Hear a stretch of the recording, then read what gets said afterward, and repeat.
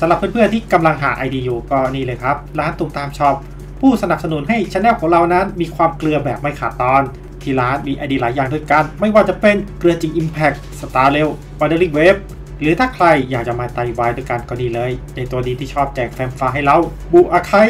และแน่นอนคลิปเรานั้นยังคงได้รับการสนับสนุนอย่างเพิ่มเติมจากฟอร์ซูจีเนียของ YouTube บางทีแล้วพี่แกอาจจะตามติดช anel เราเป็นแฟนคลับเลยก็ว่าได้อย่างไรก็ตามก็ฝากสนับสนุนกันด้วยนะครับ สำหรับเพื่อนๆคนไหนที่อยากจะสนับสนุนช anel เราให้มาติดเหลืองต่อไป แต่ไม่มีโทรศัพท์ ก็สามารถทำได้ง่ายๆโดยการกดไลค์ Subscribe แล้วก็แชร์นะครับ ก็สวัสดีด้วยนะครับสำหรับวันนี้ก็จะเป็นเรื่องราวของเหล่าเด็กสายแว้นประจำคิวทอสที่ว่ากันว่าพวกเธอนั้นมีฝีมือการขับขี่ไม่ธรรมดาเลยทีเดียว และเหล่าเด็กแว้นของคิวทอสนั้นจะมีใครบ้างก็มารับชมรับฟังได้เลยก็เหมือนเดิมนะครับ คลิปนี้เราได้ทำการรวบรวมมาจากแหล่งข่าวของเราที่มีอยู่เพียงคนเดียว โดยพยายามนึกแล้วนึกอีกว่าลืมใครทิ้งไว้ข้างหลังหรือเปล่า สรุปแล้วถ้าลืมใครไปก็สามารถแนะนำติชมได้เลยนะครับ โอเค ก็อย่าหมัวเสียเวลาเลย เรามาพูดถึงรายแรกกันก่อนรายแรกนั้นก็คือวานิบุจิอาคาริสำหรับเธอคนแรกถือว่าเป็นคนที่มีสกิลขับขี่ยานพาหนะในระดับที่ดีพอสมควร และถ้าเทียบความสามารถกันแล้วอาคาริน่าจะขับเก่งกว่าคนทั่วไปค่อนข้างมาก แต่ก็ยังไม่อยู่ในระดับท็อปนะ อาคารินั้นมักจะทำหน้าที่เป็นโชเฟอร์ให้เสมอในเวลาที่ชมรมชิมอาหารจะออกปฏิบัติการลักพาตัวแม่ครัวของสถาปัตย์ไป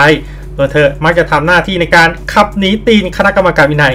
ซึ่งตรงนี้เราก็ไม่ทราบเหมือนกันนะ ว่าคนอื่นขับไม่เป็นหรืออย่างไร ที่แน่ๆก็คือ หลังจากที่ใช้งานเสร็จสิ้นนิมิตหมายรถเจ้ากรรมก็มักจะไม่ได้อยู่สภาพเดิมพวงมาลัยหักบ้าง จมน้ำบ้าง โดนยิงบ้าง เรียกได้ว่ากว่าจะกลับไปถึงมือเจ้าของนั้น ต้องเรียกว่าอวมตีนเอาเรื่องเลยทีเดียว และถ้าต้องให้เกรดในการขับขี่ของเธอนั้นเอาระดับ 4 ไป เพราะมีการหักความเสียหายที่เธอทำรถพังไปแล้ว คนต่อมานั้นก็คือเรนคาวาเชริโนสำหรับน้องเชนั้นถือว่าเป็นขาซิ่งที่มีพาหนะประจำตัวด้วย ซึ่งด้วยเหตุที่ว่าเจ้าตัวนั้นไม่เคยขับรถชนิดอื่น ก็อาจจะเป็นไปได้นะว่าเจ้าตัวขับเป็นแค่รถถังเท่านั้น ส่วนรถถังของเธอ ถ้าสงสัยว่าเธอขับได้ไงนั้น ต้องบอกเลยว่ารถถังของน้องเชเนี่ยเป็นรถถังรุ่นคัสตัมที่มีการดัดแปลงในส่วนอุปกรณ์ของพลขับมาแล้ว เนื่องจากถ้าไม่มีการดัดแปลงเท้าของน้องจะไม่ถึงคันเร่งหรือเบรกนั่นเอง ในส่วนความปลอดภัยในการขับขี่นั้น อืม อืม เอาระดับ4ไปละกัน เพราะน้องขับรถถังและยังมีนิสัยทำลายทุกอย่างที่ขวางทางด้วย เพราะงั้นแค่นี้แหละก็เหมาะสมแล้ว คนต่อไปนั้นก็คืออิโอจิมารี sister หูแมวแห่งมหาวิหารนั่นเองสำหรับมารีจังนั้นต้องเรียกว่าเธอเพิ่งเคยซิ่งให้เห็นมากกว่า โดยมารีจังนั้นเคยซิ่งพาเซนเซไปที่ทีตี้มาก่อน โดยความสามารถในการขับขี่ของเธอนั้นก็นับว่าดีพอสมควรเลยทีเดียว แต่ก็น่าเสียดายนะที่ถึงน้องมารีจะมีความสามารถด้านนี้ แต่หากต้องไปเทียบกับตีนผีอันดับอื่นแล้วก็ยังถือว่าห่างชั้นกันพอสมควร แต่ด้วยความสามารถในการขับขี่ที่ปลอดภัยดูแลพาหนะที่ดีสำหรับน้องแล้วระดับปีก็น่าจะเพียงพอแล้ว แน่นอนว่ารายต่อไปจะเป็นขาซิ่งที่เรียกว่า อืมเอาเป็นว่าไม่ธรรมดาก็แล้วกัน เธอคนนี้ก็คือฝ่ายควบคุมวินัยซึนะอุคามิชิโรโกะโดยเป็นทั้งสองโกะเลย ทั้งคู่นั้นมีสกิลการขับขี่เช่นเดียวกัน ซึ่งหากดูจากมังงะ 68 แล้วจะเห็นว่าน้องเคยขับรถบรรทุกด้วย แต่สิ่งที่เธอชื่นชอบและโปรดปรานที่สุดนั้นไม่ใช่รถเครื่อง แต่เป็นรถจักรยาน โดยตัวเธอนั้นสามารถปั่นแบบมาราธอนได้ประมาณ 70 กิโลเมตรต่อชั่วโมง และมันมีความเป็นไปได้ว่า หากเป็นในการแข่งขันแล้ว เจ้าตัวจะสามารถขี่ได้เร็วกว่านั้นอีก ก็นับว่าเป็นสาวน้อยที่มีกล้ามเนื้อขาที่ทรงพลังมากคนหนึ่งเลยทีเดียว ตรงนี้เราไม่อาจทราบความสามารถในการขับขี่ยานพาหนะทั่วไปของชิโรโกะจัง แต่ก็น่าจะเก่งในระดับหนึ่ง เพราะงั้นเอาความสามารถในการขับขี่ระดับ B ไป ส่วนความสามารถในการขับขี่จักรยานนั้น ก็คงต้องให้ระดับ S อะนะมาถึงพลขับคนต่อไปสาวสายซิ่งคนต่อไปนั้น จะเป็นพยาบาลขาโหดแห่งเกนาซึ่งได้ฉายาว่ามิสโนเบกแห่งเกนา ฝีมือการขับขี่ของเธอนั้นเรียกได้ว่ายอดเยี่ยมจนน่าตกใจ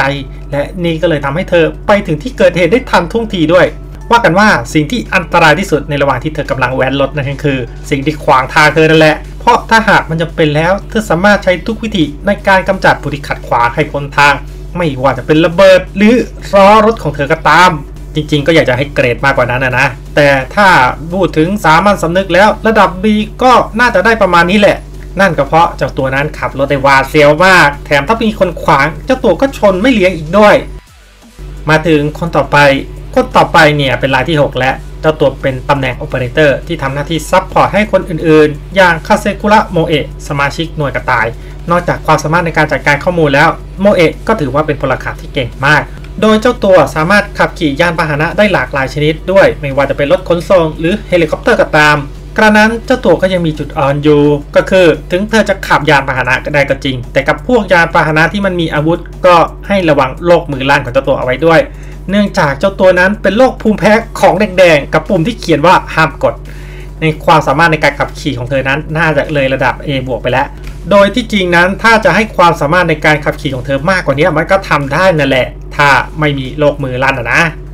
ลำดับถัดไปนั้นจะเริ่มเป็นตัวตึงที่แท้จริงแล้ว ก็จะมีพวกที่ทั้งเคยดริฟต์และเคยทำอะไรโลดโผนมาแล้วทั้งนั้นรายต่อไปที่จะพูดถึงมาจากเกน่ากับนัทซึเมอิโรฮะหัวหน้ากองพลรถถังแห่งเกน่าซึ่งเราก็น่าจะทราบกันดีอยู่แล้วว่าเจ้าตัวมีความสามารถด้านการขับขี่รถถังที่ดีเยี่ยม โดยเจ้าตัวนั้นสามารถขับรถถังเดี่ยวๆได้เลย โดยไม่จำเป็นที่จะต้องอาศัยผู้ช่วย แต่หากได้ผู้ช่วยก็ขอ request เป็นน้องอิบุกิเท่านั้น ตรงนี้จากเนื้อหาจะทราบได้ว่าอิโรฮะนั้นเธอมีพรสวรรค์ด้านการขับขี่มาก มากชนิดที่ว่าเธอสามารถเลียนแบบวิธีจากภาพยนตร์ได้เลย ไม่ว่าจะเป็นการขับถอยหลังและยิงปืนใหญ่เพื่ออาศัยแรงถีบข้ามไปอีกฟากหนึ่งหรือแม้กระทั่งขับรถถัง landing ลงจากพื้นกลางอากาศ เธอก็สามารถทำได้เช่นเดียวกันน่าเสียดายนะที่เราไม่ทราบว่าเธอสามารถขับยานพาหนะอื่นได้ไหม แต่ถ้าด้านการขับขี่รถถังนั้นเจ้าตัวระดับ S ไปแล้วเรียบร้อย มาถึงอันดับต่อไปฝาแฝดรถไฟทาจิบานะฮิคาริ กับทาจิบานะโนโซมิ ทั้งคู่ก็ถือว่าเป็นขาซิ่งเช่นเดียวกัน เพราะว่ายานพาหนะที่พวกเธอขับนั้นเป็นยานพาหนะเฉพาะทาง และมันก็มีความจำเป็นที่จะต้องมีพลขับ 2 คน ซึ่งนั่นก็คือรถไฟความเร็วสูงของทางโรงเรียนการรถไฟอยู่ไฮเลนเดอร์นั่นเอง ซึ่งจากที่เราเห็นจากเนื้อเรื่องก็จะทราบได้ว่า 2 หน่อเนี้มีความสามารถในการขับขี่ที่สูงมาก ไม่ว่าจะเป็นการดิฟรถไฟ การเร่งความเร็ว ถือว่าหลุดโลกเอาเรื่อง และเนื่องจากเราไม่เคยเห็นพวกเธอขับรถอย่างอื่นเลย จึงตอบได้ยากว่าพวกเธอขับได้แค่รถไฟหรือเปล่า และถ้านับเรื่องการขับขี่รถไฟนั้น ความสามารถของพวกเธอนั้นอยู่ในระดับ S ไปแล้ว ส่วนความปลอดภัยนั้นก็ไม่อาจทราบกันได้ ซึ่งก็อาจจะต้องนึกถึงพอแกแมแกไว้ก็แล้วกัน เพราะมันคือรถไฟ คนต่อไปนั้นจะเป็นสาวน้อยที่โคตรน่าสงสารกับไอคิโอฟุกะหรือก็คือท่านหัวหน้าชมรมโภชนาการนั่นเอง ฟุกะจังจัดว่าเป็นพลขับที่ยอดเยี่ยม สิ่งที่หลายๆคนอาจจะคาดไม่ถึงเกี่ยวกับตัวเธอก็คือเจ้าตัวมีฝีมือการขับขี่ที่แม้กระทั่งอาคาริหรือฮารุนะยังยอมรับด้วยความสามารถของเจ้าตัวนั้น เจ้าตัวแทบจะไม่เคยได้ใช้ออกมาในช่วงเวลาปกติของเธอเลย แต่นั่นไม่ได้หมายความว่าเธอจะมีรถให้ขับนะเพราะมารู้ตัวอีกทีรถเจ้ากรรมมันก็มักจะหายไปแล้ว หรือไม่เธอก็มักจะไปอยู่ที่กระบะท้ายรถส่วนรถเจ้ากรรมนั้น ประกันก็เคลมแล้วเคลมอีกเคลมจนประกันจะไม่จ่ายให้อยู่แล้ว ที่น่าช้ำใจที่สุดก็คือ คนที่ทำรถสายสำคัญของเธอพังนั้น มันไม่ใช่เธอนะสิ นอกเหนือจากนั้นเนื่องจากรถบรรทุกของเจ้าตัวพังบ่อยๆ เจ้าตัวเลยจำเป็นที่จะต้องแว้นเวสป้าไปซื้อของ ซึ่งถ้าดูจากวิธีการขับขี่ของเจ้าตัวที่สามารถขับขึ้นเนินได้ทั้งๆที่มีของมากมายบรรทุกอยู่นั้น เจ้าตัวก็น่าจะคุ้นเคยกับวิธีการแว้นแบบนี้มากพอสมควรเพราะฉะนั้นหากวัดที่ความสามารถในการขับขี่ เจ้าตัวก็น่าจะได้เกรด S ไปแล้วนะ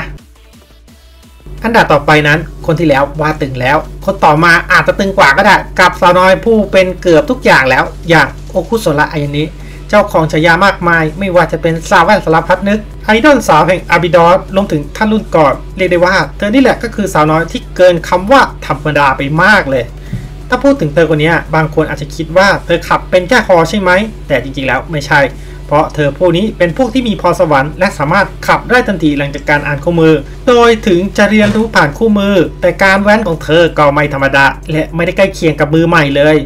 แม้ว่านั่นจะเป็นการขับขี่ครั้งแรกของเธอก็ตาม โดยเธอขับได้ตั้งแต่รถทั่วไป รถบรรทุก เฮลิคอปเตอร์ หรือแม้กระทั่ง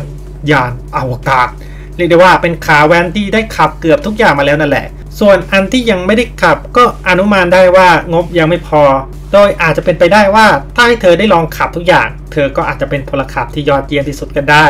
ดังนั้นก็ไม่ต้องถามเลยว่าความสามารถของเจ้าตัวนั้นจะอยู่ในระดับไหน เพราะเฉพาะแค่การขับขี่ของเธอน่าจะเลยระดับ S ไปแล้ว คนต่อไปนั้นจะอยู่ในระดับที่เท่ากับลายก่อนเลย ก็คือเหนือกว่าลายอื่นๆ ซึ่งคนนี้ก็คือพระท่านฟอลแห่งจอมโจรโม่งหลากสี หรือชื่อจริงว่า อาจิทานิฮิฟุมิสาวน้อยที่บอกตัวเองเสมอว่าเป็นสาว normal แม้พีฟูมิจะไม่เคยรู้ตัว แต่ความสามารถในการขับขี่ยวดยานพาหนะของเธอนั้น ก็จัดว่าเป็นพรสวรรค์โดยแท้จริง ซึ่งเธอเคยขับยานพาหนะมาแล้ว 3 ครั้งด้วยกัน ครั้งแรกจะเป็นมอเตอร์ไซค์เวสป้าครั้งที่ 2 และ 3 ก็คือการขับรถถังอย่างนี้ก็แสดงว่าเจ้าตัวคงมียานพาหนะเป็นของตัวเองสินะคำตอบก็คือท่านเฟลไม่มีพาหนะเป็นส่วนตัวนะ ส่วนเวสป้าที่ขับนั้นก็คือเวสป้าของไอคิโยฟูกะหัวหน้าชมรมโภชนาการนั่นเอง ส่วนคันที่ 2 อย่างกูเซเดอร์จังก็ไม่ใช่พาหนะส่วนตัวของเธออีกนั่นแหละ ซึ่งกูเซเดอร์จังนั้น เดิมทีเป็นรถถังที่ถูกเก็บอยู่ในคลังอาวุธของชมรมทวงความยุติธรรมด้านฝีมือในการขับขี่นั้น จากปากคำของน้องอาซึสะที่ไปด้วยกันนั้นบอกว่าเธอขับมันได้ยอดเยี่ยม และนอกจากนั้นเจ้าตัวยังเป็นคนที่รักษาของไม่เหมือนกับใครบางคนด้วย และนั่นก็ทำให้พาหนะที่เธอเคยขับมานั้น กลับไปถึงมือเจ้าของอย่างครบ 32 ดังนั้นความสามารถของเธอก็เท่าเท่าๆกับอายเนะก็คือน่าจะเลยระดับ S ไปแล้ว